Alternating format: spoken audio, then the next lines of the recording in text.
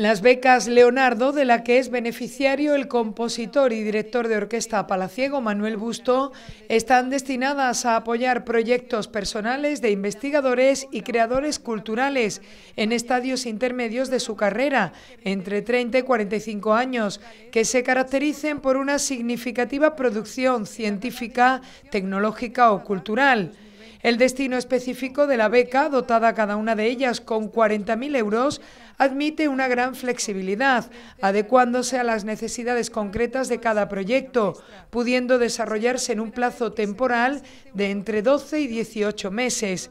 En esta convocatoria de 2021 se han recibido un total de 1.274 solicitudes. Sin duda una gran noticia para el Palaciego, que además ha anunciado que estará muy presente en la programación de la próxima temporada del Teatro Sevillano de la Maestranza. En marzo se representará La Mujer Tigre, ópera de cámara de Manuel Busto con libreto de Julio León Rocha. Se trata de una doble producción entre el Maestranza y el Teatro Lope de Vega, que estará dirigida también musicalmente por Busto y contará con Fran Pérez Román como director de escena.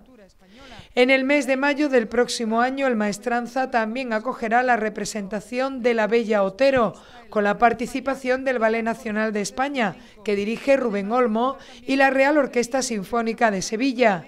Manuel Busto acudirá como compositor y director musical. Y por último, en el mes de julio de 2022 habrá doble dirección para todo un clásico de Giuseppe Verdi, como es La Traviata. Estarán por un lado el palaciego Manuel Busto y por otro Pedro Halfter. También participarán aquí la Real Orquesta Sinfónica de Sevilla y el coro de la Asociación de Amigos del Maestranza.